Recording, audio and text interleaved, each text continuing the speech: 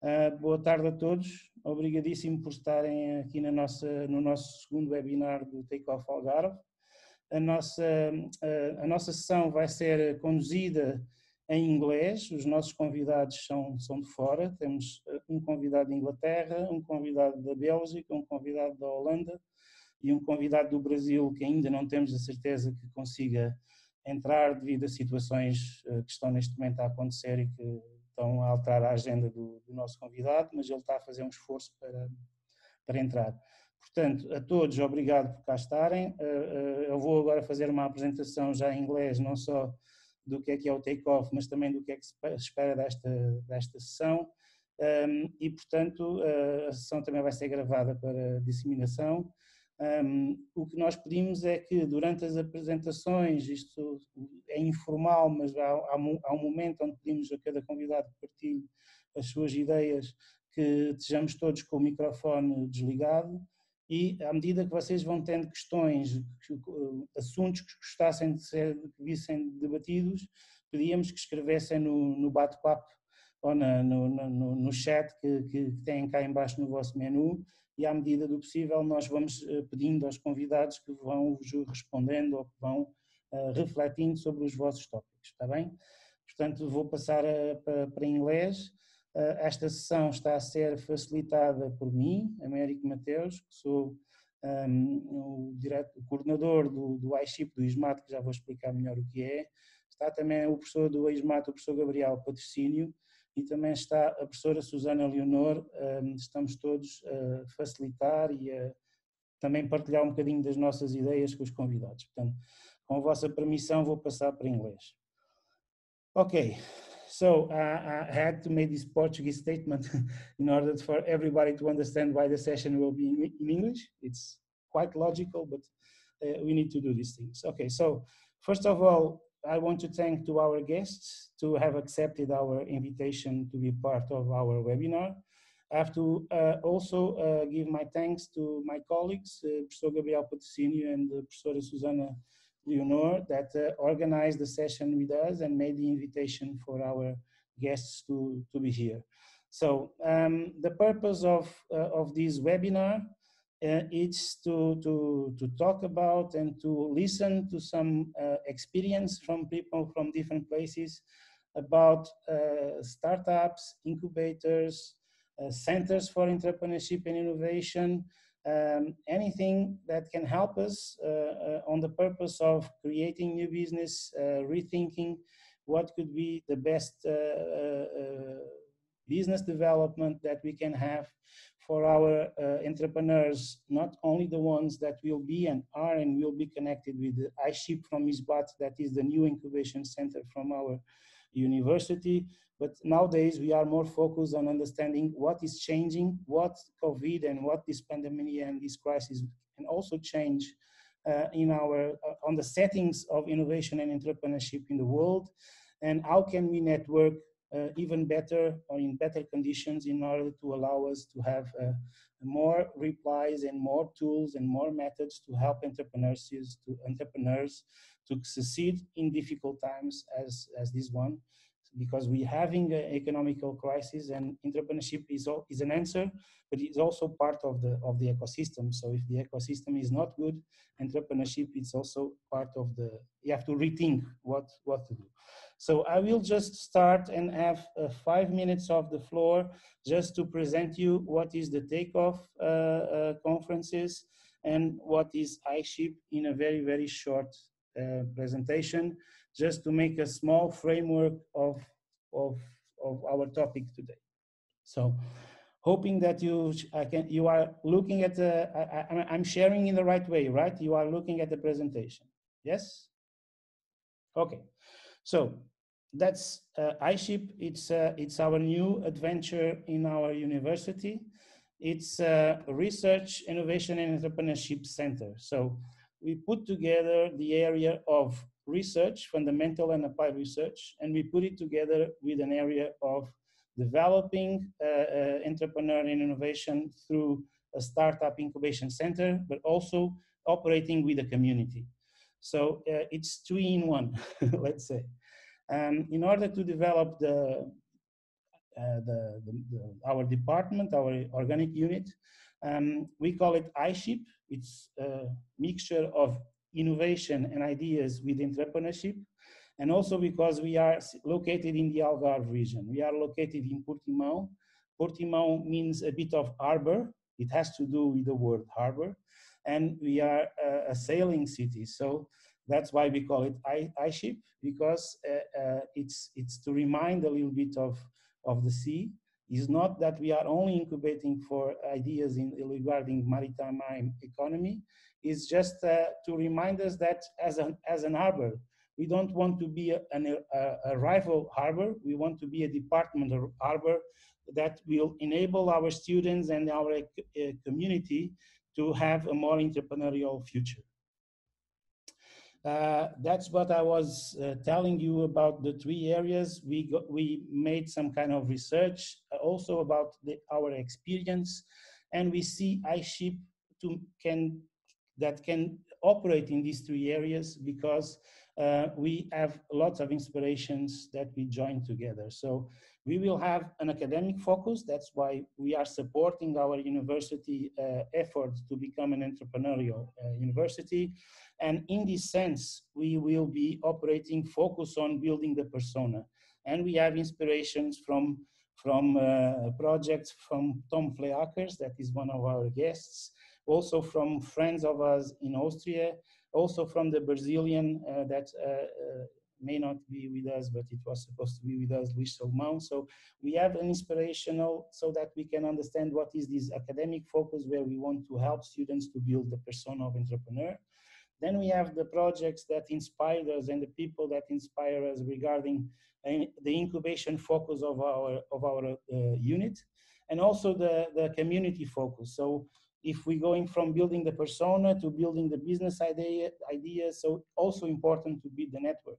And to build the network, we have examples from different parts of the world, even Portugal, about how to involve the community in this uh, uh, entrepreneurial journey. Um, in, in, a, in, in very short, this is what we developed for our for our for our center. So we developed the academic area where we can do the fundamental research that can support all of this project and the activities within our university that can build the entrepreneur, training programs, mentoring and coaching, etc. And we also build it uh, uh, the normal startup uh, stages uh, or entrepreneurial uh, stages of seed, uh, early stage, acceleration and grow. And we also saw what would be the best examples to involve the community in the, our center. So we created Ideas Hub, an open door to all the entrepreneurs and the existing uh, business people to also can come and be part of our uh, uh, iShip ecosystem the very small idea here that is, uh, I think, even more important in the days we live today of, of, of, COVID crisis is this innovation focus that we have on the, on the right side. Um, it's about, we think it's very, it's, it would be very, we think it's very useful that we don't put our incubation center only, only working for people with the first time ideas we are looking for giving a second chance to old entrepreneurs and old is not age. So we want that people that today are facing problems in their business, their business model doesn't make sense anymore. The things that change in the last weeks, they are they don't know what to do. Come to the center, come to our, uh, come and uh, with us, with young blood, with our mentors, our coaches, and our professional partners from investment capi uh, capital, for example, we will try to help this business also. So for us, entrepreneurship, uh, uh, startup center is not only for first-time entrepreneurs, it's also for people that need a second chance, a, re, a, re, a, new route for navigation in these difficult times. And that's a bit what we think is a bit different in our project of iShip. Uh, and we did it before of the crisis. Now I think it even makes more sense to have also this oriented uh, focus on these people that need uh, to go back and develop the idea again. Um, So for, for, for putting ourselves in the market, to launch ourselves, but more important, to make our job of helping the region and impacting the region visible, we created this webinar series. This is the second in 17.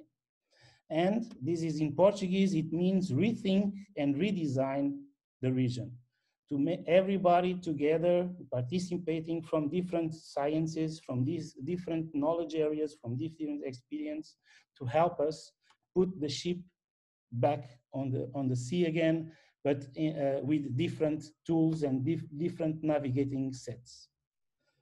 Um, so our webinars aim to promote the debate to, to make ignition of economic areas that can be complementary to tourism. One of the problems in the Algarve, it's everything is about tourism and we need to, to make it different. We need to make it more different anchors of economy. And we need to do it thinking on sustainable and a lifelong journey. It's not only to the next uh, month or the next year uh, we need to think about new trends and new future, future scenarios. And we need to think about what is this new normal that we are going, uh, that we are facing. Everybody talks a new normal, but nobody explains what is the new normal. And as we said, to also see how to, can we help on uh, putting back on track these, small and micro-sized businesses that nowadays face a big problem with the tourism uh, crisis that is going to emerge, uh, is emerging already with the pandemic. And finally, to also promote a more economic, creative economic driven uh, um, region. That uh, creative e economy in the Algarve is not strong and I think is one of the ways to, to make a different uh, future for our young entrepreneurs and our uh, uh, entrepreneurs in general. So this is uh, not for reading because this is the 17 uh, webinars. One is missing in my account there. So it's 17 webinars. It's uh, 30 teachers from our university from eight different fields of knowledge. And we have 25 uh, international experts from nine different countries. So the idea is to talk about design, entrepreneurship, architecture, psychology, law, business, human resources, is everybody talking uh, how can we together think how to uh, uh, um, help the region to develop uh, future innovation uh, and face the problems that emerge with this crisis. But one of the more important things is not to, to go to the business as usual again, because it was not okay previous to the COVID-19. So um, um, I will just take one minute to explain what I mean here. It's very important. Before of the COVID-19, we were in meetings and operators of tourism already said to us, we are making such a low margin in our profits that we are almost losing money. So in order to be competitive, to have mass people coming to the Algarve, the business value diminished. It is very short. And so we were already having problems. People, uh, the developers and responsibles were already telling us we need help to rethink and to make some innovation on our product because our product is diminishing value very high. Of course, we have lots of people coming here, but in the end, the value that is left is smaller.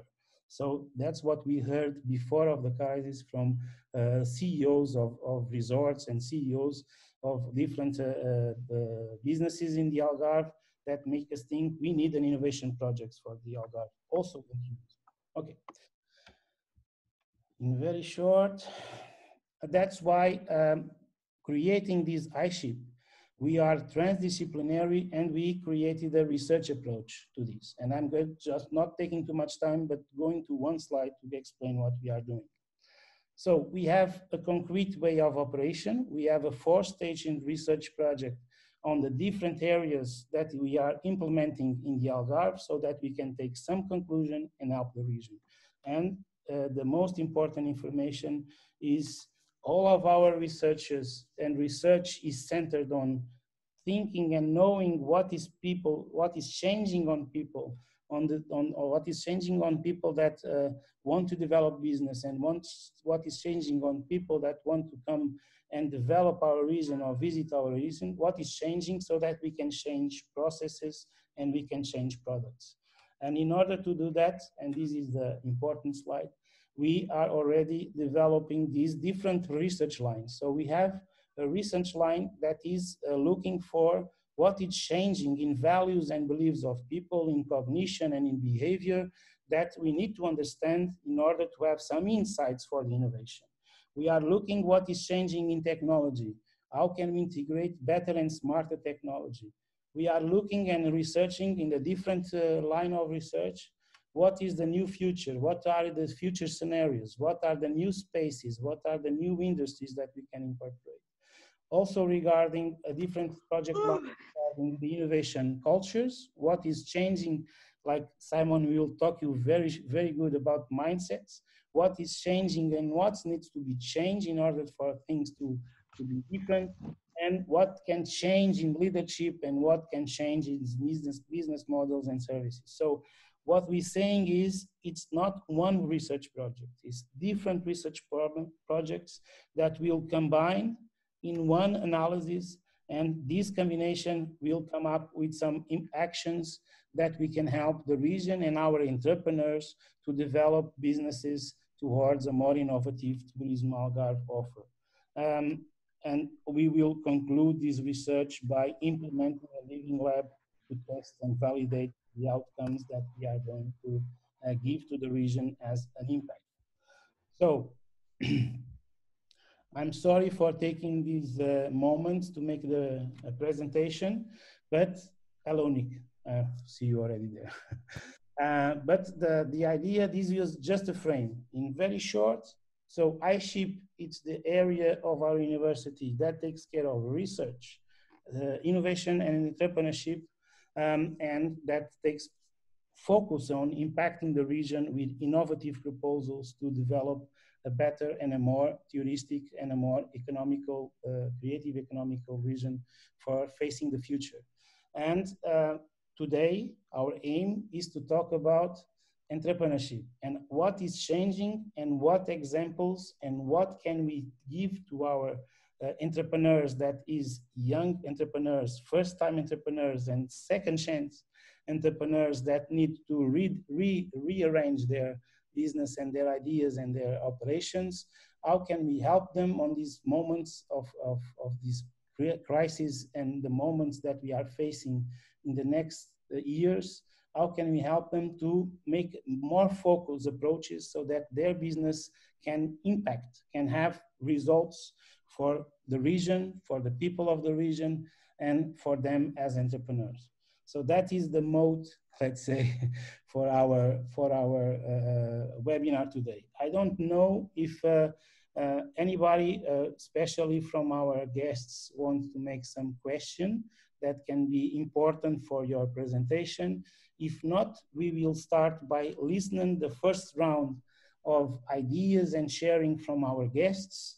And then we will, uh, as I said in the beginning, we will start debating and, and looking at the questions and the, the arguments and the reflections that the participants are making or will make in our in, in the in the talking area uh, of the Zoom uh, so that we can have lots of interactions. The session is not for Americo, is not for Gabriel, is not for Tom, is not for Simon, is not for Nick, it's for all of us.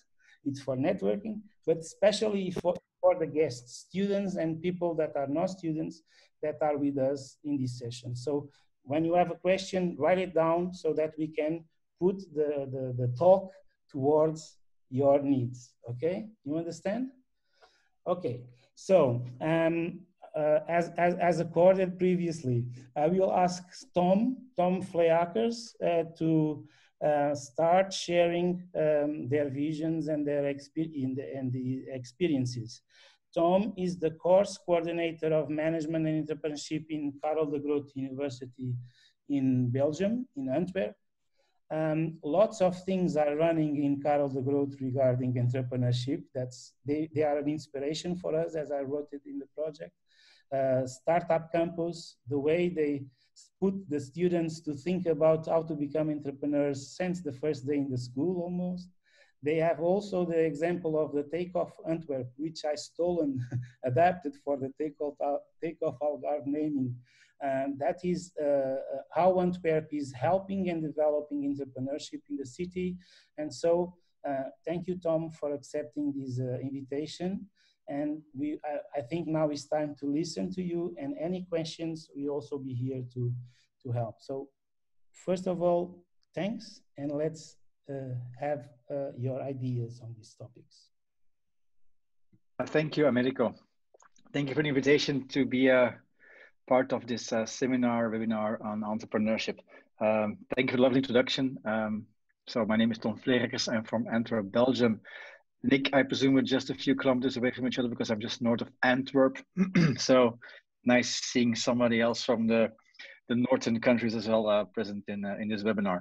Um, being at Karel de Grote, being a course creator program manager for uh, small medium enterprise management and international entrepreneurship. Um, let's say um, entrepreneurship is part of my my of the genes of my two programs. And let me just um, take you down a, a trip down memory lane, maybe to explain how we look at entrepreneurship and how it evolved over time at KDG, because Karel de Grote is quite a long name. We also say KDG as an abbreviation of Karel de Grote. Um, when I think it was seven, eight years ago, we had students um, in our classes starting to bother my uh, lecturers on, um, sir, can I ask you a question? um, I have an idea. Uh, I, I want to start a business. And at that time, um, lecturers didn't really know how to respond to that because it, it, was quite new. We were at the mindset of being those brave Belgian uh, people who were not so entrepreneurial, but just really, really hard workers. and we were in in some sort of philosophy. You, you do the study first, and then you're being entrepreneurial. And seven, eight years ago, we noticed that students being age 18, 19 years old, um, started popping up in classes um, wanting to be entrepreneurial. They had ideas. And instead of um, saying them, well, finish your education first and then think about being entrepreneurial, we, um, well, we sat together with, with uh, a few colleagues. Uh, one amongst them was Peter Sprangers, who also uh, being academical influence uh, in the program of iShip I've learned uh, from the slides from Americo. Um, and okay, how can we work with this? How can we deal with these students who want to be entrepreneurs? And then we talked, okay, we, we should give them chances, we give them opportunity to already start developing their own business during their um, programs. So we came up with the idea of why not graduate with your own company instead of finishing um, your your uh, studies first and then thinking about your own company. Why not finish with your uh, with your own company? And that's how Startup at Campus um, well was founded uh, first um, as a competition. and I remember the first time we had, I think, 20 students who applied to be part of the competition of Startup at Campus who want to start their own business um, at university, at our university. And um, the second and third year, we grow to 40, 50 students who want to be entrepreneurial. And then we noticed we had to disappoint a few of them because we could not guide them. We only had room, space, time for two, three, four students to, to be um, guided for the next year to to really get them to start up.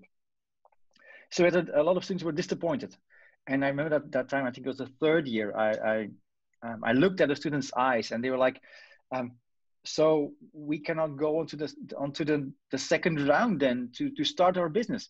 And we said, "No, sorry, you you can't. We just don't have capacity to do that." Although the ideas are really, not all of them, but um, most of them are really valuable and were really okay to start working on. So it's okay. We need to we need to think about it. How can we work with this as a university? And that's how um, in Antwerp, KDG, where, where it's located, uh, we started the, the, first entrepreneurship center at at our campus, our student entrepreneurship center at our campus, where we have Annemie, um, and Annemie is our um, is is the mother for all entrepreneurial students, and and and I think she's really important. Um, and and you want to have one um, key success factor, Americo, for your iShip, I think you, you should have a, a, mother or a father there for each entrepreneurial student. Cry on somebody who can, who can tap them on the back. And that's really important for those entrepreneurs because they're 18, 19, 20 years old. And we've, we've really learned that they, they need some sort of safe haven or safe harbor as, as being a, a port city there um, to turn to. And that's why we, we, we opened up the students now. And we have, um, for the last five years, have over 100 student entrepreneurs each year who are enrolled in our Startup Entrepreneurship Center, who are supported in becoming an entrepreneur. And it starts with being um, a pre-entrepreneur, being we have an idea, we help them to develop the idea, but also into going to market strategies, also um, going to banks, also sure that they get a loan there. Um, but always with the same philosophy. It's your responsibility, not ours. And I think that's really important when we talk about entrepreneurship, that it's it's it's they are the entrepreneurs not we. They are. So we should give full responsibility to the students to the student entrepreneurs and also give them all the credit. And that that's for a lot of students a, a big um, step into the into the unknown as i've learned. That a lot of students think it's um, think it's really awkward to to start being the entrepreneur. They have an idea and then we challenge them to take it one step further and again and again and again. And they get um, little mommy and me who helps them, supports them, taps them on the back. But then you get that that one point of no return where you need to well take out take out the, the formulas and take out the, the, the, the papers and, and, and start applying for formal business. And and we noticed at that time they they they really are challenged to do that. And then they look at us and, they say why can't you do that for us? And no you are the entrepreneur not we.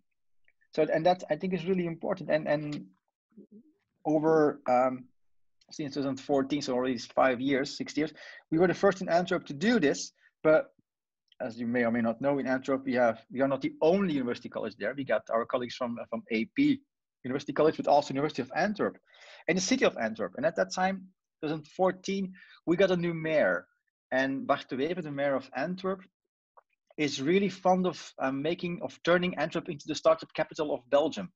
So he brought together um, the city, all higher education institutions, so being the University of Antwerp, KDG, and AP, um, together on the table together with the city, and also the um, ooh, how do I, I call in English? We say, hogere zeevaartschool, but uh, the higher education for to, to become uh, uh, someone who can do a vessel or something. So that kind of stuff.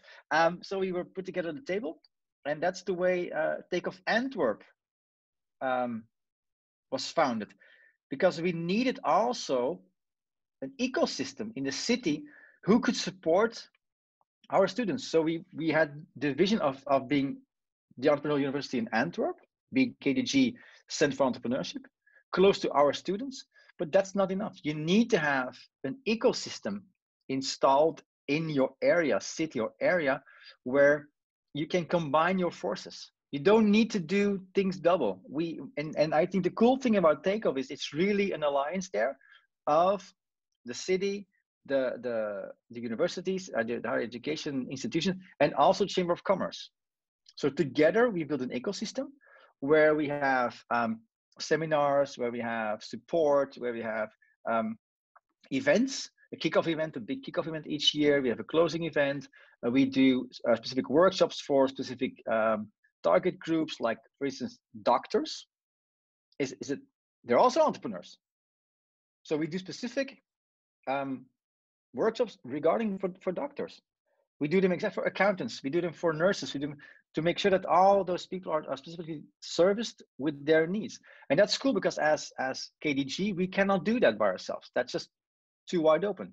So we discussed that we will build an ecosystem in the city of Antwerp where we would um, make sure that we have a, a strong structure there. Um, communication on entrepreneurship is, is done there. We also do we also apply for grants and funds, but the the mentoring for the students is done within the institutions. So we try to remain close to the student to be their safe harbor because my students from KDG, they will not go to Takeoff Antwerp, which is a separate location. They will not go to the University of Antwerp by themselves to look for support. They will go to Annemie. the little mommy, well, not so little, but the mommy there who is there for them. And I think that's really you do entrepreneurship is that you you you empower students to be entrepreneurial. You support them but you also make them responsible for being entrepreneurs.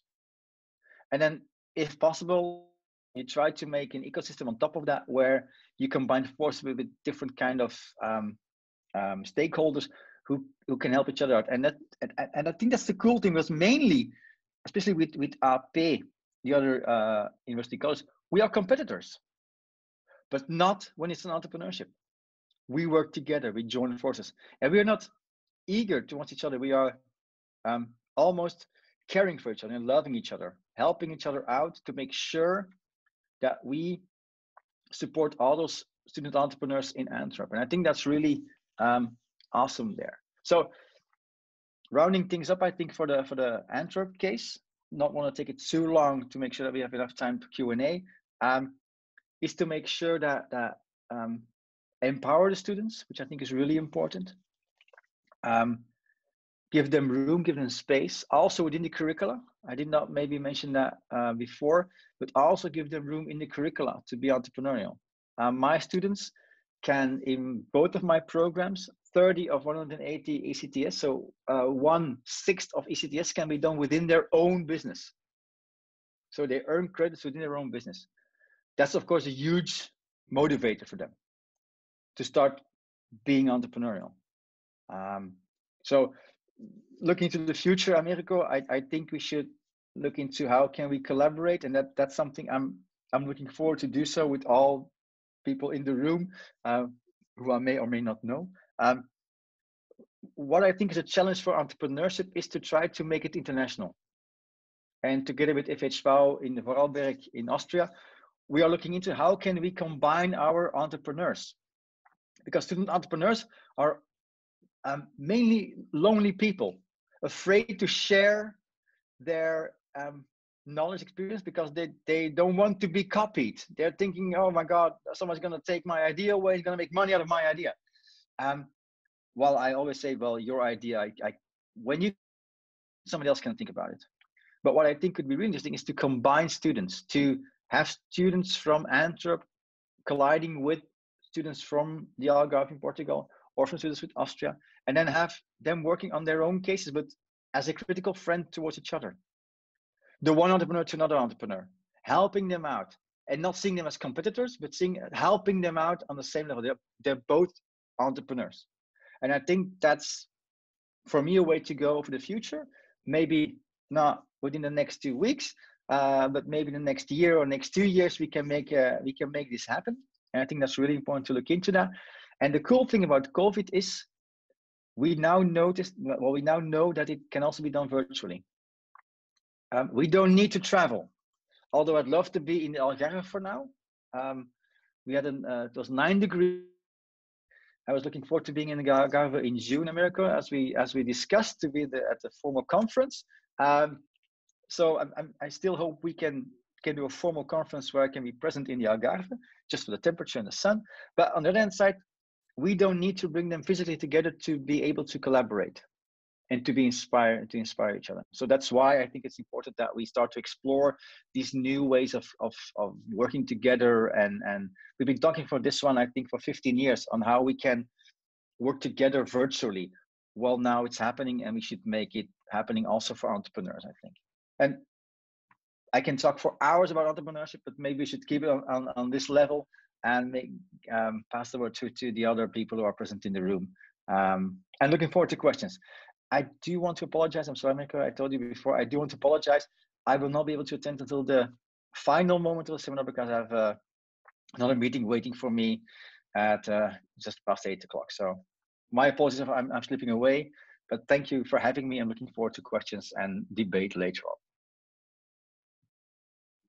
Thank you very much, Tom. Uh, very, very clear and uh, very focused on issues that are very important for us uh, for the, the, the, goals of our webinar.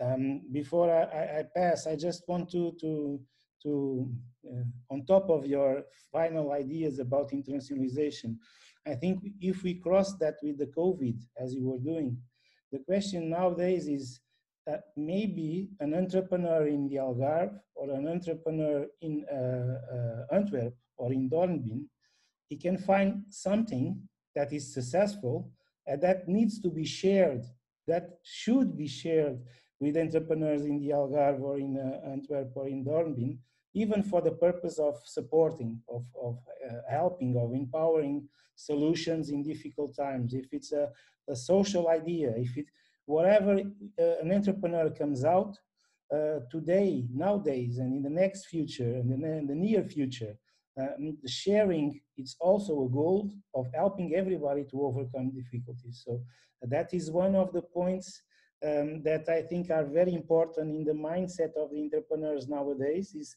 not only be afraid of not sharing the idea for nobody to steal, but your idea may be useful for saving economies, for saving some lives, so share it.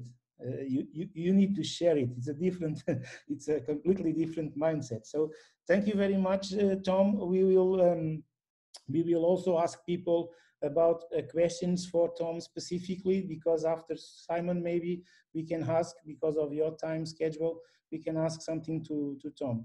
I would now give the floor first to Gabriel, to our my colleague, and I would love to get Gabriel presents uh, Simon um, uh, because it's knowledge of, of Gabriel and is the best person to present Simon. Okay, Gabriel? Thank you very much. Thank you. Hey, thank you.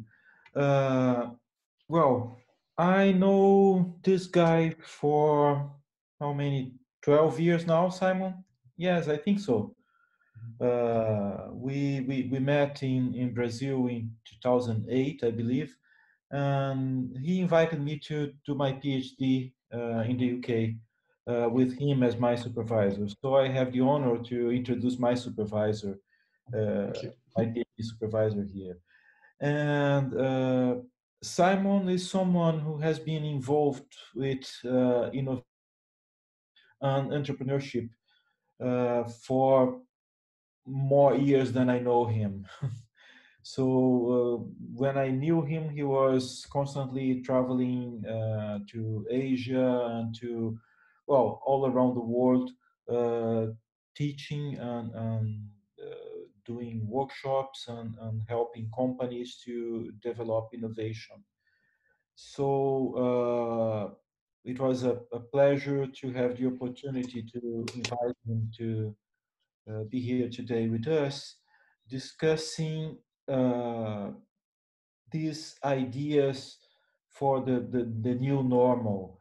Because uh, now uh, people are questioning when they will be able to return to their activities and they perhaps they don't realize that they want uh, there's there's no going back we have to we, we only have ahead and so it's about moving forward and going ahead. Um, we, we know that we have a very different future ahead, uh, to say the least. And we are lucky because we are designers, and designers uh, project, designers have a, a projective activity projected towards future. And so that's what we do as a profession. So we are really lucky in this uh, situation to have this mindset of moving to, to move forwards.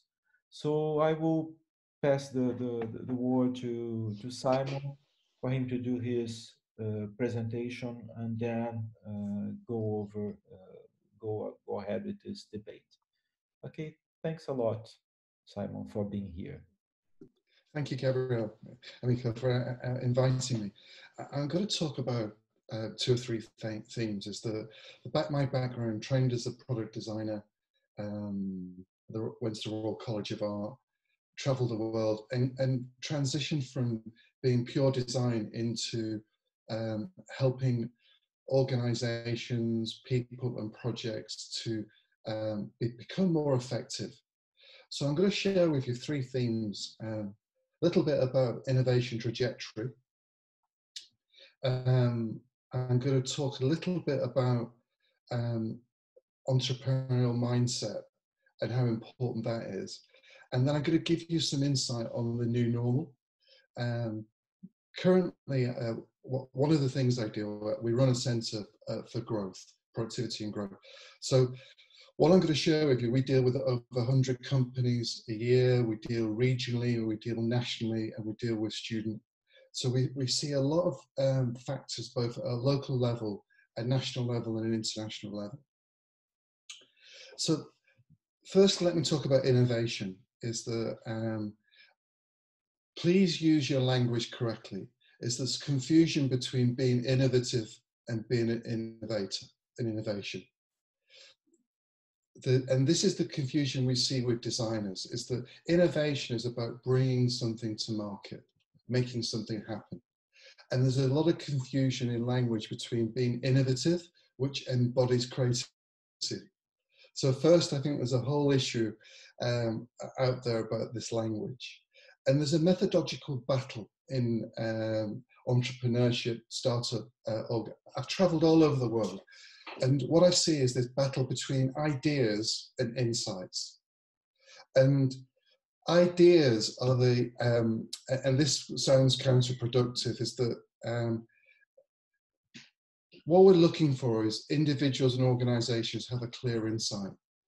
Insights give, uh, connect you to a, a, need, a demand, and a, a, a potential pathway for multiple opportunities.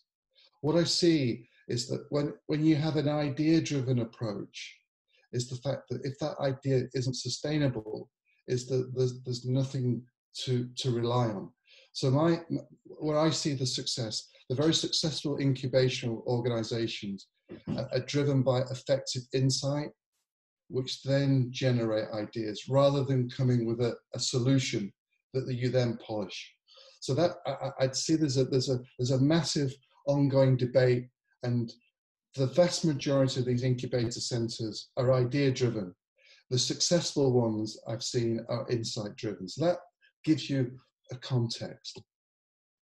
I just want to talk about uh, entrepreneurship and being entrepreneurial. Is they're very different.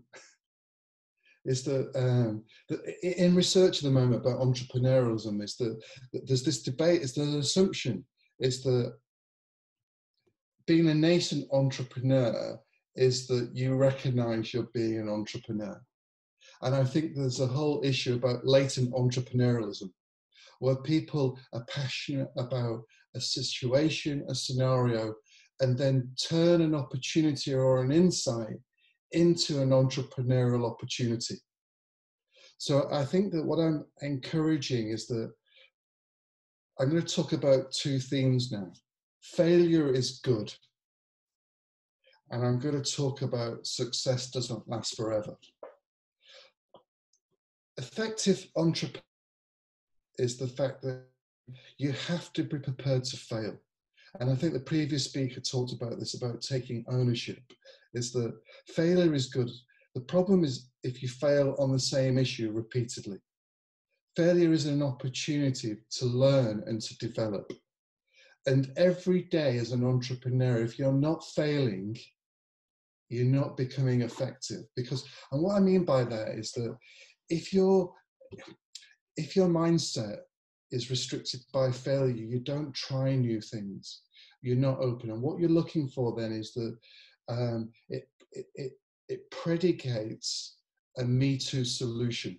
It might be a, a more beautiful Me Too solution, but it doesn't encourage people to take risk and take challenge. So that, and anybody who's run a business, who's become an entrepreneur, they never succeed the first time. And the great thing about entrepreneurial is like I have a picture of a person falling off a mountain bike. If you don't want to be an entrepreneur, don't get on the bike. Because if you to be successful, you need to be prepared to fall off the bike. So what I'm trying to say is in the mindset is that when I talk to individual organizations, I have a model called constructive failure. And and they feel that the, initially it's it's counterintuitive. So uh, when I do a workshop, I say, "Look, guys, what I want you to do, I want you to fail," and they look at me as though I'm crazy. But what we do is that we change their mindset, where they're prepared to be more open, exploratory, and take chances. So that's my first theme. that failure is fundamentally a part of innovation and entrepreneurship. I'm going to throw in a little bit of a curveball here is, is that a, a, lot of the theory and a lot of the discussion uh, implies that success is sustainable. Ideas have uh, uh, don't need to last forever. Success could be three weeks, it could be a month, it could be 12 it could be three years.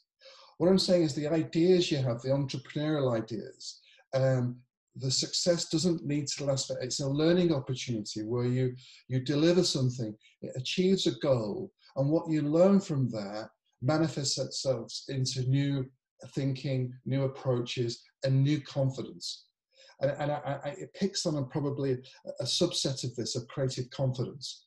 You don't build creative confidence by not failing and by trying to sustain long-term success. So there's, I hope there's two themes that you can embed into your center. Failure and that success doesn't last, have to last forever. What I want to then um, come to is these innovation models. Um, I'm the chair professor of our Innovation for Innovation, and my inaugural talk for my professorship was Does it actually exist? I'm not sure, but that's a debate for another. Innovation has become a metaphor for growth. And so, what we're talking about here is that it's important. There are multiple. There are very. There are lots of models, but they all. They may have different terminology, but there's predominantly only four or five phases. So don't get hung up on the innovation model. What's important is, is this innovation mindset, entrepreneurial aspect. Um, fundamentally, if there is no demand for your idea, you do not have a business. So going back to my first theme is that it's like love. You have to be prepared to be rejected. and you have to find out if there's a demand for your idea and learn to be rejected. People said to me, Simon, how have you become successful? I said, I've dealt with failure quickly. So the situation is that um, please do not have an incubation center that polishes and protects. And I think our first speech has sort of alluded to this. You have to open the doors and get them out there. Because if there's no demand and people don't like what you do, find out early and you can change. Where if you if you're afraid to fail, it's catastrophic. And what happens is that um, you, you you only speak to people who give you the views that you want, and you don't get that critical input. And innovation and entrepreneurship is about managing failure. So, the fundamentally, is there a demand for that? What I'll share with you is that, um, and Gabriel will um, probably articulate this better in Portuguese. What mm-hmm. I help people to do is ask the right question. Yep. Most businesses fail not because they can't develop or produce something, they fail because they ask the wrong questions. And one of them is Is there a demand? and I can give you a whole talk about that. So, just let me just re- rebuild that in, into the metaphor of the ship. Is that if you're only going to um, sail on journeys you know where you're going, it's going to be a very, very crowded harbour. This failure builds that whole confidence to explore, get lost, but navigate yourself back to a fixed point and try again. So before I go on to my final theme, there are three things I've, I've talked about failure, success, and um, um, building a, um, this notion of demand. Another theme that wanted to be discussed was network building.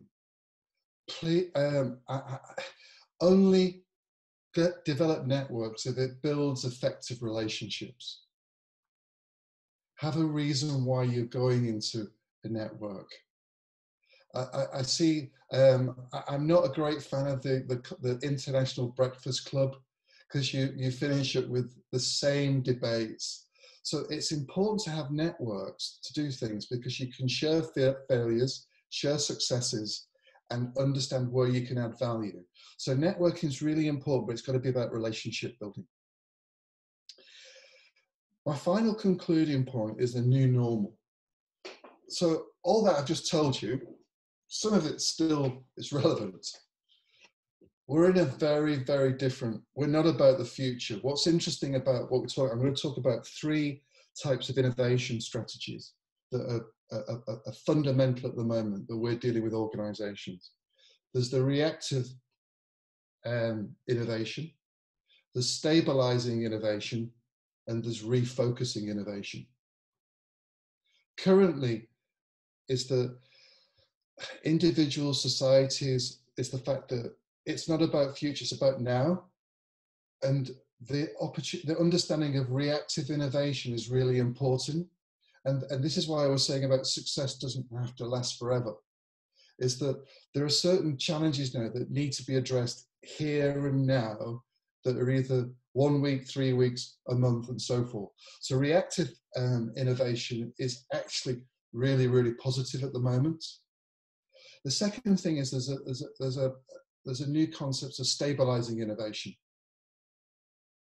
And that can be to do with industries, um, cultures, communities, is that we're in a very turbulent time. So there's a whole opportunity for innovation opportunities that help to stabilize. Hmm. And then the final thing is about refocusing innovation. And the reality is, is that um, I, have changed my concept, and don't take this the wrong way because I do like Portugal. I don't really want to come to Portugal today. but what this has shown is that we can share ideas and connect in Portugal, which wouldn't have been a normal mentality six months ago. So this is a refocusing strategy. It was the fact that how, and this is an example of, of what I would say reactive, moving from reactive into refocusing. So we have a situation here where a year ago, the norm would be we all get on a plane and we waste six days for an hour's talk. Today, we've been able to mobilize different global thoughts, connect, and in two hours' time, we'll be doing something else positive. Hmm. So, what I want to stress is that the new normal is there will be a future, but it's going to be made up of reactive, stabilizing, and refocusing innovation over the next, uh, I'd say, 12 to 18 months. My final thing for any um, any organization, any individual, there's one fundamental thing that drives success have a plan. Thank you. Thank you very much, Simon. Very, very, very clear, very sharp, uh, very uh, as as a complementary to to to Tom's. Um, I think we have lots of lots of very good issues to to think about here, uh, uh, very especially the the um, the, the mindsets uh, and this final part that is a, a, a confess. It's a, it's also new to me these three terms, but they made makes a lot of sense. Reactive, establishing, and refocusing.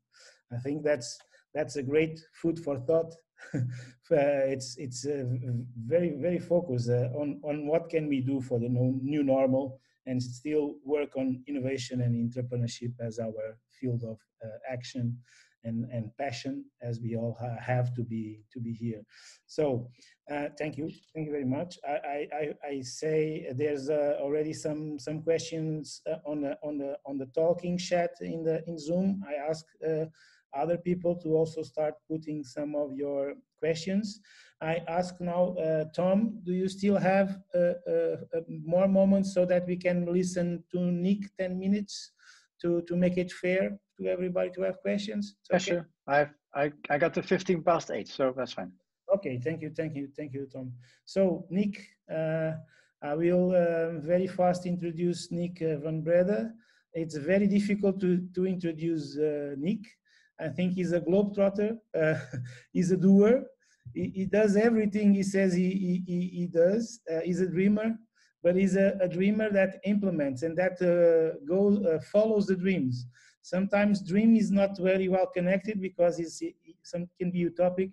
But every time I, I, I listen to Nick to talk to something, oh, I'm going to China to here and there to do this, and I, I think to myself at first, what the hell is he doing? But then he goes, he just goes, and that's that's the point. So you understand the, my my my English is uh, it's not that I don't I don't doubt what you are doing. I, how can you do it? But you find ways of doing everything. So uh, my my thought on bringing uh, Nick to this uh, to this uh, to this talk is because he's a he's a very bright young guy. Um, and is like I say, he's a doer. I think he has lots of experience to share with our uh, audience, our participants, because uh, there's no limits for for Nick. So, the first time I met Nick, it was on a co-creation conference. He was still student, and he talked about co-creation with a passion and with. The, he said he's going to change the world, and he's doing it. So, I think it's the best the best way to to tell that to to to introduce uh, uh, Nick is that he thinks he can change the world and he's doing. And I I, I thank you very much also Nick to come here. This the store this the floor is yours. Uh, I'm sure you will share uh, some of your initiatives and things that you have been participating. Um, and if you feel that in my introduction something is missing, please it's so much to talk that just uh, stress what, whatever I, I didn't uh, stress right now. So thank you, Nick. The floor is yours, man. Sure, thank you. And uh, I will start uh, by sharing my presentation because um, talking about stuff is quite hard when you're using a lot of exponential technologies and, uh, and a lot of exponential transformations. So um, let me know if you can see it by uh, putting up a thumb in the comments. and um, let's start. So um, I was asked uh, like a few days ago by Americo uh, to prepare a presentation. So I did my best to uh, work on uh, some things that are that are, might be interesting for the region of Algarve, and uh, most of all about rethinking and re redesigning Algarve itself uh, from an entrepreneurial perspective. So looking at different sides, one the one side is about uh, looking at um, exponential technologies, and like you can see over here, where we are using VR to give people a, a holiday experience. Um, also on the sustainability, uh, we organized in uh, in Utrecht, in a city in the Netherlands, where uh, this was in the city center. People were transferred to their favorite holiday place uh, using VR putting their feet in the sand. I think you're, you're, uh, we are not seeing your next slides. We just with the beach in the, we are still seeing the beach in the Algarve. I think that's the first one. So it's very mm. simple. You have to share the screen, but yeah, yeah, share your screen and not the, yeah. Um, it, you, it's like this, Nick. It happened to me yesterday also. It's you share the screen, yeah. but you have to share your screen and not the presentation because when you put full screen, we don't see it anymore. Okay. I noticed. I noticed. So I showed. Uh, I shows only the first screen. So now you can see the second, right? So this is uh, this is how we transferred uh, people on a holiday using uh, VR, a, a bucket of sand and a cocktail, putting a glow light on the head and a wind blower and a little bit further away. So uh, when it turns out to be a very windy environment, then the wind blower started to blow, and you were like, "Oh no!" And the and the uh, and the headphone would be windy as well. Like you would hear like like in a real beach. So we uh, we teleported people to the beach uh, using this experience. We did it for uh, for two weeks, and people, everyone that wanted to join, was able to uh, to have a mini holiday uh, in this uh, experience. So exponential technologies. what are the exponential technologies are you actually aware of? let me just walk through a few of them that um, that are changing quite rapidly. LoRa, IoT, augmented reality, virtual reality, robotics, artificial, artificial intelligence and uh, machine learning, tracking, uh, decentralized autonomous organizations, and many more, as you can see. Let me know in a comment if you uh, if you don't know um, about any of these technologies, or if you if you don't know a specific one, because I can explain what kind of disruption they are actually uh, ha having on on the world right now. So let me show you my office. É verdade, não, sério. Ivo, Ivo? É. Ah. You're muted. So this is the office that I work in, and uh, I'm actually experimenting with all the technologies every day. And um, nowadays, I have most of the technologies at home. So, um, like headsets, your headsets right here.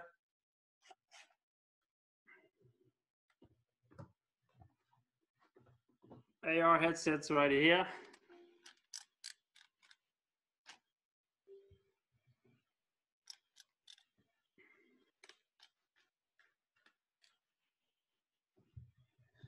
And um, all of the technologies, they, um, they represent a new reality. So with augmented reality, it means that you can have remote access to the eyes of someone else. So you can actually uh, manage people inside a factory from all over the world and give them instructions. And this can in real time speech, but also via instructions that you are uh, creating with holograms on their real world. So it's used uh, in a lot of factories, uh, especially those that if they have some maintenance problems and they are standing like 10 minutes, um, they're not working for 10 minutes, it costs them a million dollars. Uh, so they can very quickly, remotely uh, have access to a worker without any experience. So uh, you can give them real time education and let them solve the job with your guidance. All of these things, um, I'm just showing a few of them, but um, there are many more, like uh, 3D printing. I printed this bat to place a controller in so I can actually uh, keep on playing table tennis. They're all, um, they're all, they're all disrupting a lot. Um, and they're doing that on organizational levels. So organizations that are changing rapidly are, for example, Amazon, who is uh, who is only showcasing a lot of profits since uh, the coronavirus. So there are ways to do so, and um, we've put them into a recipe list. So the recipe list is over here. There's 11 recipes that organizations that are actually scaling up rapidly right now inside a huge crisis in the world are leveraging. So for example, by hiring staff on demand, you're actually uh, very flexible in, uh, in getting more or less stuff whenever you need that. If you look at Uber, Airbnb, they, own, they don't really own stuff, only people in their office to run the software. And that's like uh, uh around 100 or 200 people that are running the business. Um, the rest of the people are actually freelancers uh, willing to uh, add on to the staff on demand uh, work, and if they are not producing, they won't won't get paid. So there's no risk in it anymore. That's that's the staff on demand. Just to give you a little example, if you if you look at community and crowd, is how much engagement do you create with the people that follow you? Uh, with a Coca-Cola or with a Red Bull, they have a huge follower stream, uh, which creates a very valuable brand. And this community and crowd, you can also calculate that. For example, Facebook users. Facebook itself isn't real estate, had, really isn't worth a thing, but the community on the platform that is using the platform for so many minutes a day is turned into shares and it, it's turned into values. So if you look at the amount of people that are using Facebook, it's already around three and a half billion. If you uh, calculate it um, by a thousand, you can see how much that company is worth um, in terms of uh, if you look at the share value of that company. So this thing is new for a lot of banks, and uh, you see that a, a, lot of alternative financing and VC and uh, corporate, um, uh, venture capitalists are having to uh, to finance these startups because banks they don't know how to handle things that don't have physical products to uh, to back them up. So you see that that a lot of things are changing in that. Um, let me just um, walk you through to the next slides because this is quite some uh, methodology to implement all of these uh, recipes. But um, what happened is that the the Forbes 500, the, the richest 500 companies in the world, they uh, were replaced. 90% of them were replaced in the last 20 years, and that is all because of the internet. It's all because of digitization, uh, software eating hardware, and it's all because they have leveraged four out of 11 of these recipe uh, elements very well. Some are mostly about uh, the people, experimentation, autonomous teams, uh, being very productive with, uh, without any management. Others about, are about uh, algorithms and automation, about computers replacing human labor. So these two elements, uh, the left brain and the right brain, the creative side and the structured side, are the most important elements. If you look at tourism and uh, rethinking that sector, what would we be looking in uh, one and a half meter society when uh, the physical borders are closed?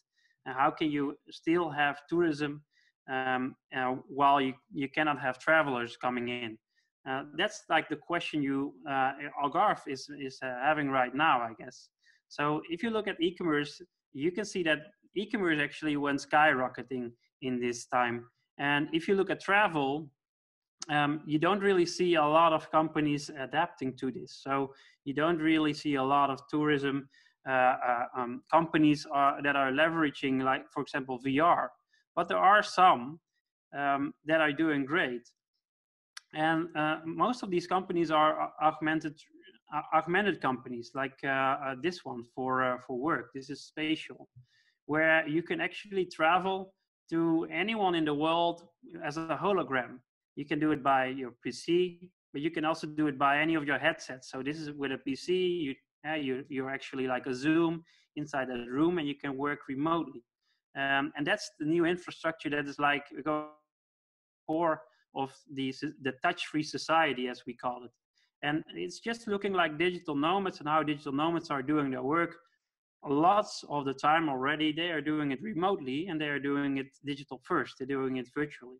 And now this is going to be uh, extra layered so that, that it can be um, uh, touch free because that's really important right now. So you, if you look at travel, um, how can you transcend travel to a is like the question. If you come up with an answer, there's a huge market potential uh, because there's not a lot of people that are leveraging right now. Uh, some some apps on on VR platforms like Wander are implementing all Google Earth images, and you yeah if you give it to your grandma uh, while you cannot really visit your grandma uh, they can actually have less loneliness by traveling to your home 10 years ago they will see your home in vr before it was renovated for example they can go back like 20 years in time and they can time travel in vr right now and that's so interesting that uh, every grandma i gave a headset they were like, "Whoa, I have to do this every day." So they uh, they were very happy to do that. If you look at production, uh, if you look at production facilities, you can look at 3D printing as a to localize production more often. So setting up, for example, your own face shield uh, company. There are many very small companies in the Netherlands, 3D printing companies uh, that are delivering face shields for hospitals right now. They are using their 3D printers they normally use for gadgets and for fun that are now being used uh, by medical doctors as a face shield. So look at the opportunities and look in the left corner on how you can actually do uh, farming with a 3D printer. If you look at the left corner, it's all done with solar panels. You can, so you can actually go to the beach while someone is running your farm and a computer is running your farm. Um, yeah, mobility is going to be different. So mobility, if you look at the different forms of mobility, there are so many things that people are working on, like the Concorde didn't really make it, but the Hyperloop, for example, where perhaps one day um, you'll be in your own cabine in that travel system and you will be able to travel in two and a half hours from Barcelona to Amsterdam.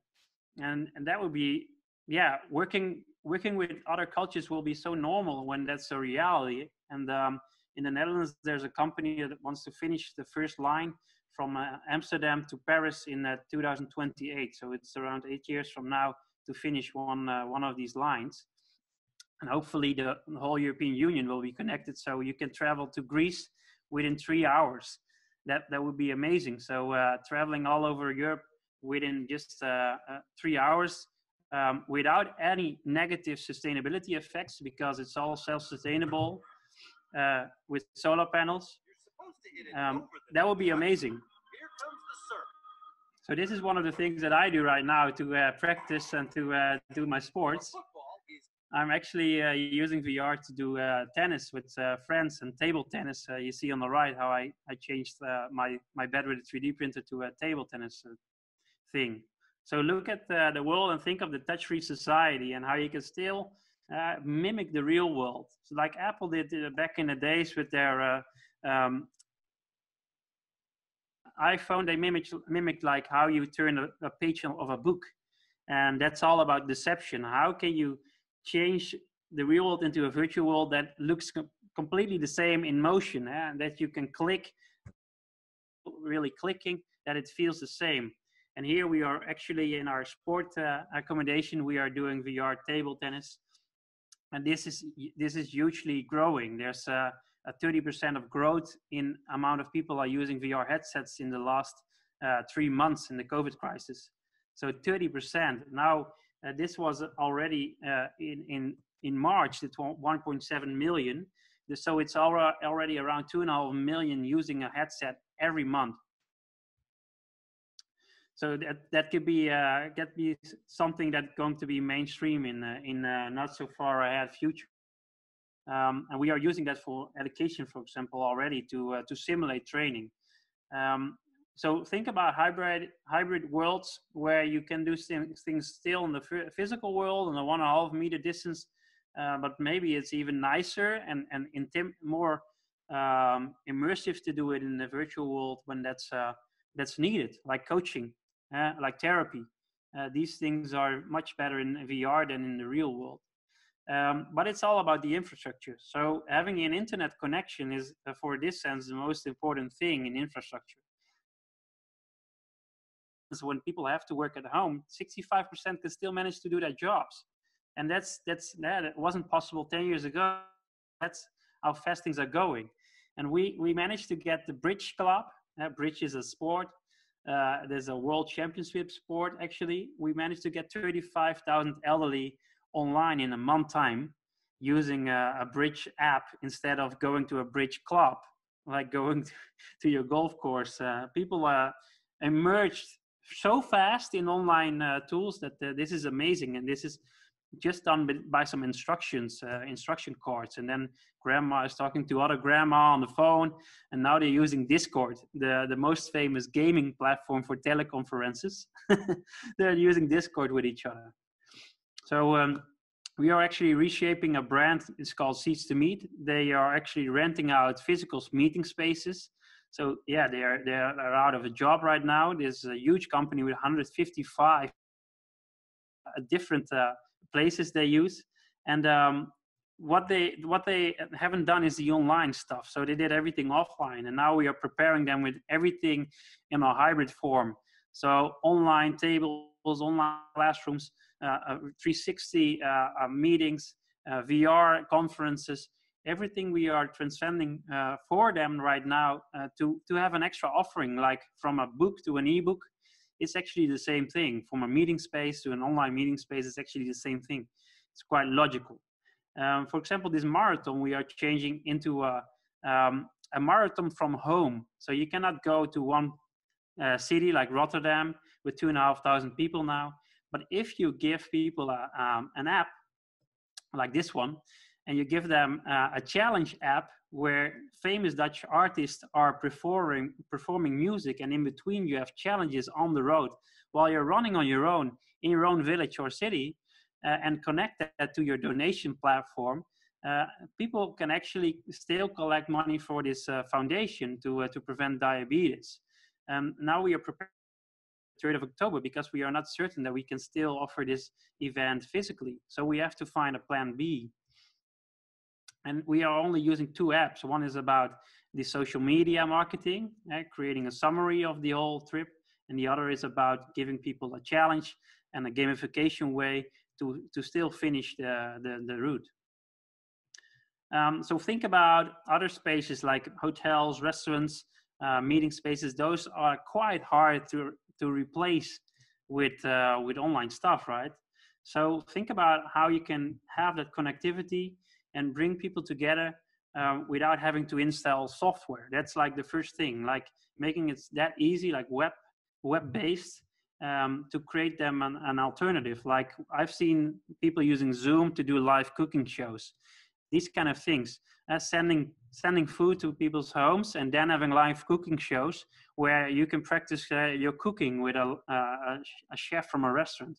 These kind of things are amazing, and and people really like to join them. So they are uh, really willing to pay for such services. And the platforms that you can use are, for example, Remo, Hopin, Crowdcast, or for example, VR, where you have an extra dimension of feeling because you can actually uh, create uh, smell and create wind and create warmth and cold in VR worlds while you're actually eating stuff. So we had um, we had a network meeting with whiskey where I was sent whiskey home and then we were in the VR world chatting with each other and drinking the whiskey with each other. That was quite fun. And um, now we, um, I'm part of a network called ExoWorks. And with ExoWorks, we actually want to transform the 5,000 biggest corporates in the world to save the world because their purpose is not really based on CSR, on, on corporate social responsibility. So we want to disrupt them by disrupting their philosophy of the company. And uh, in the back in the days, it was philosophy is making a lot of money and, and, making a sustainable business. But that's not a philosophy of a company anymore. You will get disrupted quite fast. So we are actually now helping the Dutch government and some big corporates with at least uh, um, a million turnaround to transform their business, like Unilever we, uh, we helped, in uh, translating their philosophy to uh, uh, offering healthy nutrition for a sustainable planet. They changed it into, into that slogan, which means that they are actually cutting out all the unhealthy food out of their assortment. And that's remarkable. That's done in, in a 10 week sprint. And this is, for example, one thing that we did for education. We created an AI to turn research papers into a three minute summary video with just a research paper and a photo of a person. So um, do you want to see the demo? Yeah, you want to see that demo? I can show you. Let me um, stop share this one and I will show you in a video what uh, we, we, we create um, videos automatically with AI within three minutes. So having a paper of 80 pages, turn that into a summary, then have a, add a picture to it, choose the language, the spoken language that you wish. We have 80 languages already that you can choose from. So if you want to have your research presented in Chinese, that's possible. And uh, here we go. Morpheus Video is a technology that uh, creates videos with natural looking lip. Morpheus Video is ah the buffering doesn't really work. That's a, that's a bummer. Videos with natural looking lip movement in any language from almost any content. I will send you uh, I will send you the Dropbox file so you can watch it on your own uh, device okay, uh, you need to send it uh, to to see it. Okay, Nick. Yeah, oh, let me um, let me send it in the link after the presentation, and uh, let me continue to finish it up. Um, I have a few more slides, if that's okay.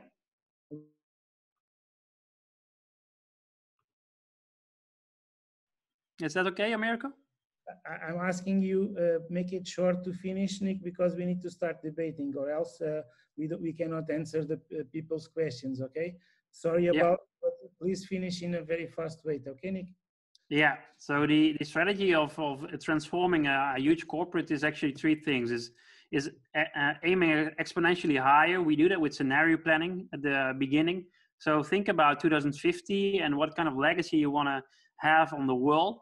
Then it's all about stakeholders and stakeholder management, uh, trying to get a CEO in and having him um, making uh, creating the freedom of 10 weeks 40 hours a week of their top management team to be available to work on new business models and then supercharge your people and that's actually giving them so much space and time and, and a professional coach uh, like we we bring in like five coaches and a lot of to um, to give Demora pra ver se um, conseguiu ouvir isso. managers a possibility uh, to actually uh, to actually turn their management, the top management, into um, in a super team. And these are things that we use for that. So if you uh, if you're willing to read a book, uh, these two on the right are very recommended: exponential organization and exponential transformation. And that's actually the uh, the trend of become uh, turning a linear trend into an exponential trend, and then doing that with your business. And the recipes on the on the left are now into like a business model canvas on the left corner, uh, so that people can actually uh, start experimenting with this. And in the end, it's all about um, measuring how adaptable you are to change. So if you are very good at all of these uh, recipes, uh, you can test yourself. Uh, definitely check out this uh, Bitly uh, extra trend because it's a report about how fast technology is disrupting uh, industries. But also do a test if you have an organization in mind, do a test and see how how um, well they are prepared for a very fastly changing society. And then uh, you can find your score, and you can see if you're uh, in between 55 and 100. Uh, then that means that you are probably going to survive for the next 10 years. If it's uh, underneath that amount, uh, you probably won't be alive anymore. You will be bankrupt because of the other companies and startups that are going to disrupt you. So that was my presentation. This is me in VR. Uh, this is my avatar. And um, we are um, coaching students to become an entrepreneur with the side project. And we uh, have set up a, a, series, a podcast series uh, on a startup impact series on uh, social entrepreneurship to, uh, to give people uh, good information and tips about how to set up a social enterprise. Um, so that's that's it. If there's questions or you want to connect, definitely do that um, and use the comments uh, and uh, I will be happy to answer them for you. So thank you very much, Nick. I'm sorry that I, I asked you to to speed up, but uh, we need to go to, to, to the debate. Thank you. Very interesting, um, very challenging. Uh, uh, as I asked you, you're very techy. so there's lots of technologies in, in in the in the question here. So I think um, we did uh, we have already these uh, three uh, visions. Um, they they complement some more about the basics, the mindsets, uh, something more about how can education uh, support iners and empowering uh, students and also give them the responsibility um, to, to become entrepreneurs since very early and a vision on how disruptive technology also can be used as a, a, a way of operating or taking the opportunities of uh, what's happening in a, in a, in a, in this uh, post-COVID uh, pandemic um, economy and, and, and, crisis. So for for the first, thank you very much for for for all of your contributions. Now we have uh, some questions here. Um, uh, I think I'm, uh, we can put to Tom. There is a question here uh, from Edgar, from Edgar Leandro. It's asking you, how could COVID affect entrepreneur, um, uh, entrepreneurs, I'm sorry. Um, um, can you elaborate on that also? And Tom, also, if you want to also make some comments on other visions on complementing of the other vision of the guests, of course, more than welcome. Um, I think for now, this is the, the, the question that is towards, towards Tom. Okay. Um, thank you both on, uh, Nick and Simon for uh, being after. It's really inspiring to just listen to you guys. Um, and I think indeed, uh, thank you, Americo, for uh, bringing us all together, being quite complimentary on uh, on on our uh, insights. Um, I, I, regarding the question from Edgar, I, I think I come close to Nick's vision, meaning being that if you're an entrepreneur in COVID nineteen, you you are either uh, gonna go digital or you're gonna go uh, really human. I think the the um, the in between space um, will be gone, and that, that's some sort of prediction, I think. But if I just look around in Belgium and I look around in in my networks, um, being also an exponential transformation, um, I'm, I'm, noticing that uh, entrepreneurs um, either go for the full experience, being the human experience, or either go for the full digital experience, the the, the in between I, I think that that um, there will be no room for the in between. COVID nineteen will be, will either uh, lure your your customers into the the real um, the real deal or the full digital deal, and I think that that's that's where today we see we see entrepreneurs going. Um, what I see in Belgium, I cannot say that's happening in in in the world, but what I see in Belgium is that um, startups they're surviving because they are mainly focusing on digital and they are surviving. Um, existing small medium enterprises are really eh, are, traditional enterprises are really getting getting a hard time. For them, it's really hard to switch to digital. They try to hop on, but many come too late, um, and they don't have the, the the trust of the customer yet. While we all trust those big platforms, you know, they, they're they're like magnets.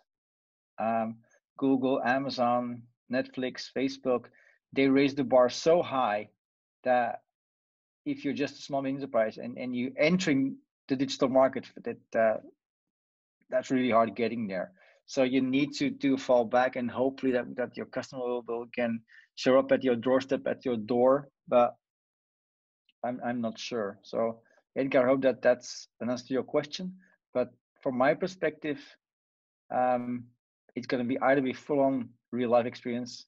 So meaning you go to the Algarve and you go there and you waste time, Simon. I agree with you. Uh, my meeting, I, I said to my people in the next meeting, wait a couple of moments because I'm, I'm in the Algarve for now, but I'll be back in 15 minutes. Um, so that's perfectly possible in, in this situation. Um, versus doing it completely digital. And and Nick, um, I had experience from Utrecht, not in Utrecht, but in Austin a few years ago, um, they made me um, go to the beach in Malibu at that time, having the same experience that I was really in Malibu until somebody woke me up again. So yeah, that that's I think where we're going. Okay, thank you, thank you very much, Tom. Um, uh, Simon, uh, also you have a, a, a, nice question here from our colleague uh, Susanna, and it's uh, it's uh, it's something that is very difficult for all of us as designers, as uh, people connected to, the, to the creative areas. That is, when do we see it's a failure? Okay, do we have bankrupt a company to see it's a failure?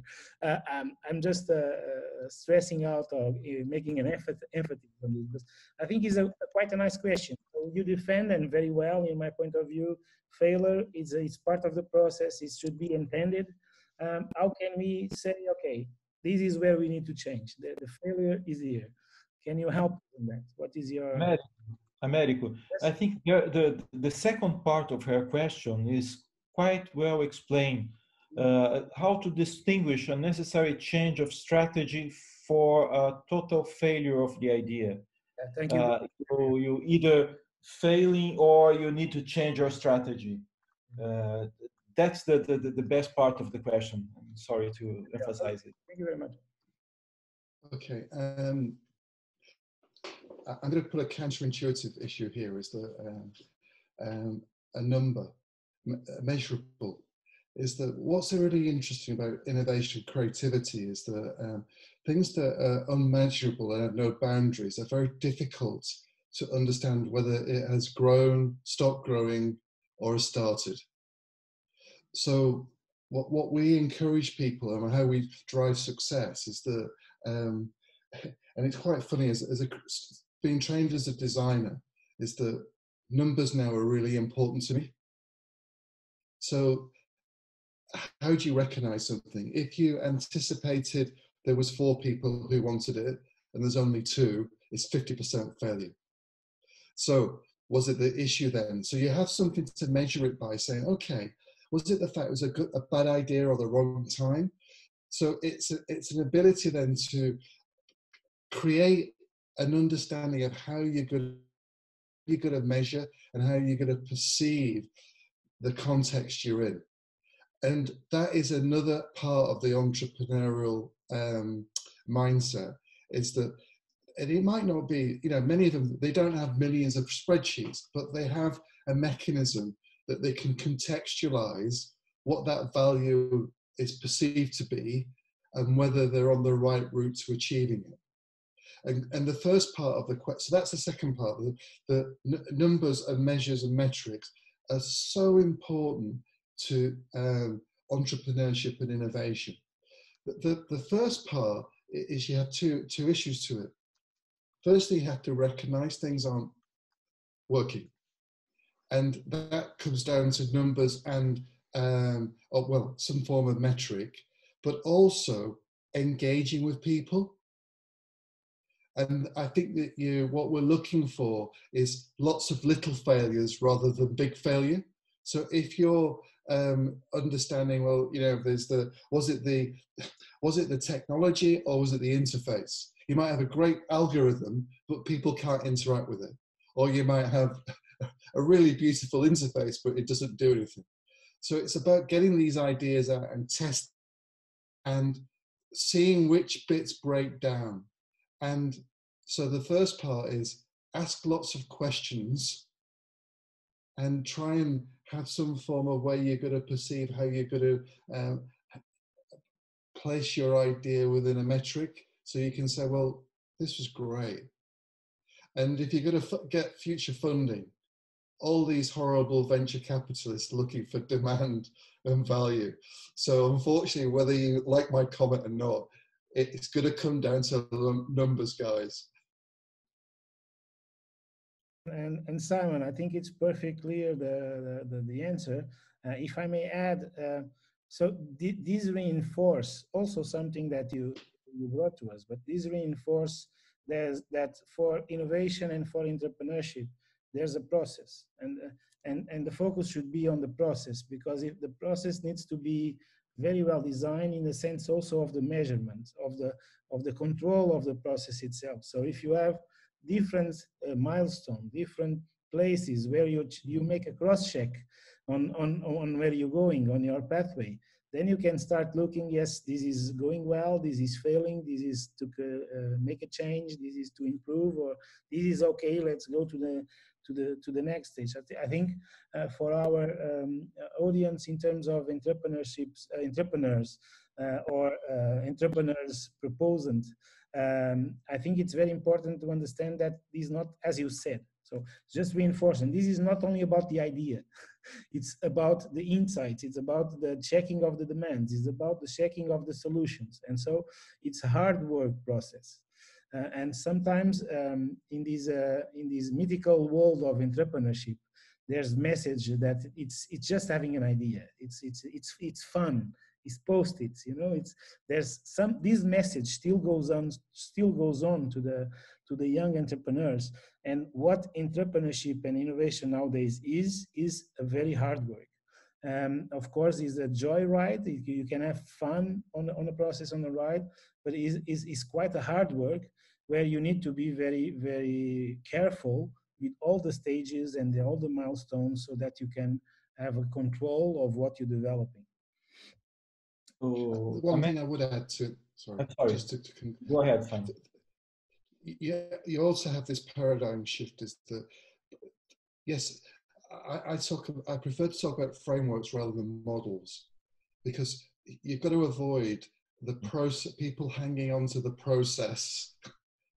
I think Nick described it quite well. Is that I, I, I encourage frameworks and also you've got to design you've got to build and break things Otherwise, if you get too hang, hung up on the process, is that you're driving the process, not the learning.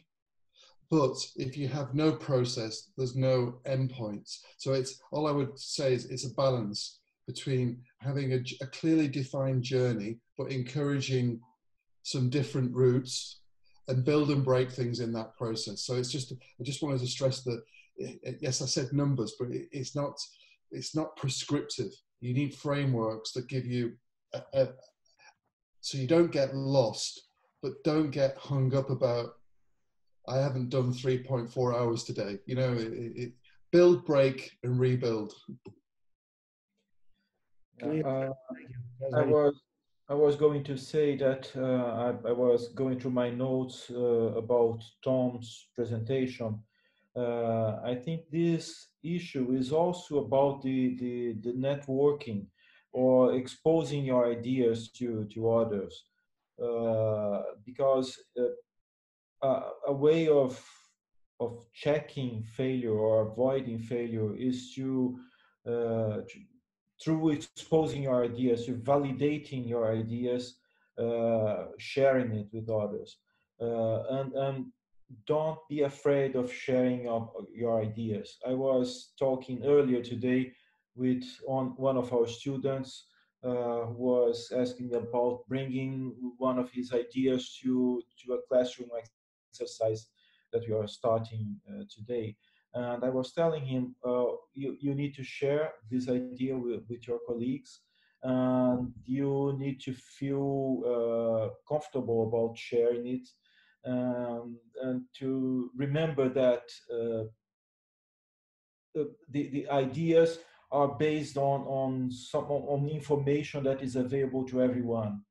So if it was uh, like this in the invention of the light bulb or photography or telephone of, of the airplane, uh, that several different people around the world invented those things uh, although just one or, or two came to be known as the, the true.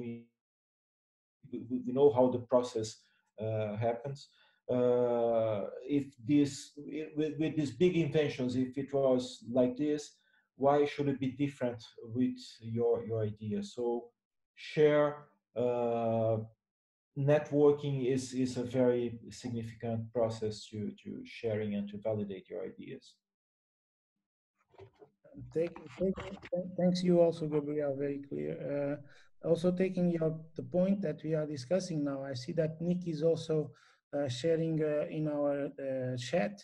That is an interesting, uh, interesting point. Also, it connects to what Tom says and also with, uh, with Simon. That is um, the, the, the, the, the how, how to make the networking after this. And I think um, just to, to, to, to ignite your comment, uh, Nick, is uh, if, if, if uh, the networking until now was uh, creating uh, connections between uh, startup centers and um, sharing some pitches for the same investor capitalist, I think we, we should, and that's what you said now, is I think we should to, to start networking in all the stages of the, of the process. So I think if we are in, in the Algarve and if there's some expert like Nick on technology and uh, advantage of technology, since the beginning that our incubees uh, start thinking about technology, uh, we should make them uh, near you or near an expert. That's what you are saying. Yes, Nick? Yeah. So especially if you, um, uh, when I was coaching in Thailand, when I was coaching a business school in Thailand, what I recognize is that um, if you look at the system that they are working in and their education system, then you see that they are walking like 10 to 15 years behind in the system that we have in the Netherlands. So you have a lot of free knowledge already when entering such country uh, on how to create a system that is very good in creating a very efficient uh, and a productive uh, way of doing things. But it doesn't always mean that it fits so um, we uh, normally use design thinking to get to know the context as good as possible, uh, the problems behind the problem, and then start looking at the best practices that you can find all over the world and getting to know the experts that have actually implemented these problems uh, and solutions in their region. For example, Boyan Slat using the ocean cleanup for cleaning the ocean. While in Thailand and Singapore, they have a lot of plastic soup in their rivers.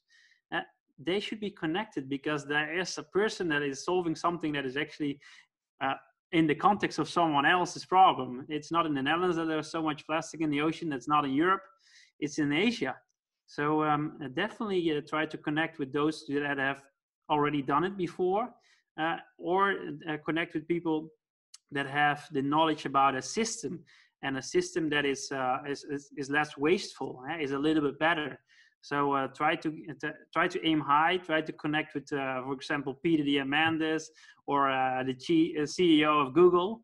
And if you cannot get to that point, yeah, try to find their uh, like the second managers.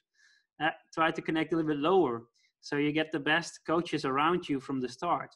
Uh, and it's not scary to just LinkedIn invite a person and then uh, do a good introduction with a small note like, well, I'm really fan of you and your work, and I, I really have a good question for you. I hope you can answer it.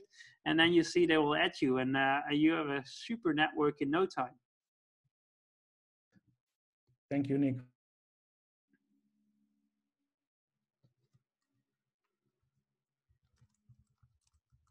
Americo, you you you muted your, your, sound. Okay, it's, it's my, my, new Mac. This this uh, this touch touch pad is not good for. Me. I have a very old Mac, 2015 one. It works still the best. so I was just saying that is also a question here for from Bruno for for ISMAT that is how can uh, established entrepreneur, entrepreneur enterprises help and collaborate with uh, our iShip project. Um, uh, uh, uh in our in our in our project uh, it's it's uh, uh, we need we need establishing enterprises in our ecosystem like tom said. So we we we are creating the ice iShip uh, let's say from from from the beginning from zero but looking at all the best practice. And one of the things uh, the, that, that we put on the project is this connection with the, the entrepreneurs uh, that already have, are in the Algarve, not only as mentors, because I don't think it's uh, it's not enough that sometimes uh, these uh, entrepreneur, entrepreneur uh, uh, business people come and talk to our startups companies. we want a little bit deeper than that. We want some kind of relationship where, if needed, um, these uh, uh, established uh, companies can adapt and can, for instance, inside their companies, give some experience of one week, two weeks to these entrepreneurs. Um, I, I, I, in Lisbon, I was I was mentoring some students of the previous university, and one of the most successful uh, um, young guys that made an international successful business with uh, towels for beach. It was one one person one one young man that was uh, supported uh, uh, by a sugar company ceo but it's not one the guy didn't went to the, the, the, the, university and talk to him. He said you come and work with me or aside me two weeks you come, you work in your project, I'm working in my company, and we will talk and we will learn with each other. And uh, Frederico, Frederico learned a lot. So it was two weeks that were worth a lot of money for Frederico, and uh, the businessman came uh, to become uh, the investor in this uh, in this tower business. So this is what we aim: a deeper relation, uh, more than just a mentor or just somebody, a facilitator that comes for one seminar or not. So we are building that with the investors, business angel investors in the Algarve that will be uh, uh, present, present in our session tomorrow. But we are now starting the process of talking to more business people, men and women of the Algarve, and not only that can have accept this philosophy of um, more deepen and more human-based uh, support and and because it's a it's everybody learns. The business entrepreneur uh, learns with the startup entrepreneur and vice versa. So uh, um, we are starting now the process of talking to, to, to other business people than we already have done uh, in order to see, to have a, like a, a, time bank, but a bank with CEOs, with experienced people that really want to get deep on this relation with the young entrepreneurs. But thank you for the question, Bruno. I hope I can, I, I did uh, my best to, to make it clear uh, it, it's part of our target to develop this ecosystem. We need everybody because without all the pieces together, it's not an ecosystem.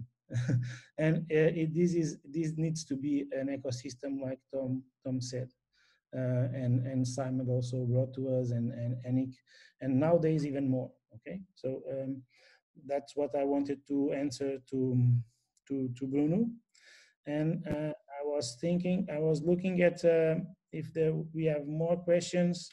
Uh, so um, I don't know, uh, a round of uh, final remarks uh, from our guests. Simon, do you want to make a final a final comment, a final, give us a final tip, even more, more useful than you already done. That's difficult, but just final words. And again, for our side, thank you very much for being with us. It was a pleasure.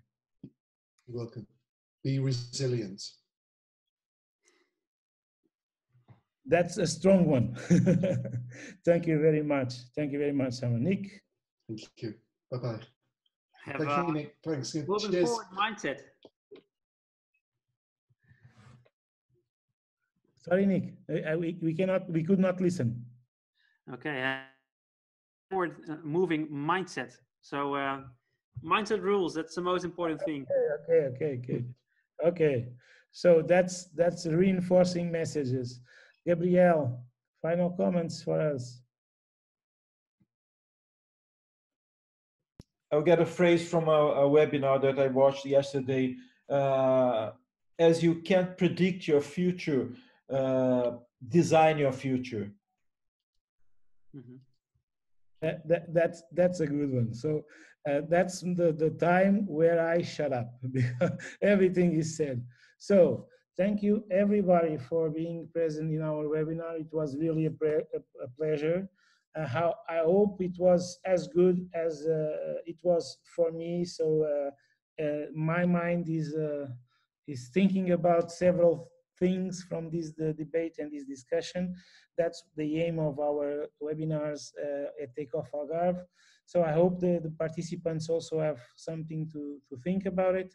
Uh, so thank you very much. We close the session for, for today. Tomorrow we have another webinar uh, uh, focus on branding, communication, uh, how can we do and help uh, reposition the Algarve brand uh, and much more to come. So thank you very much to everybody.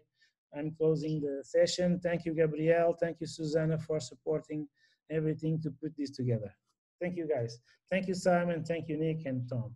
Thank you Bye. all. It Thank was a you. all. pleasure. Bye-bye. Thank you. Bye-bye.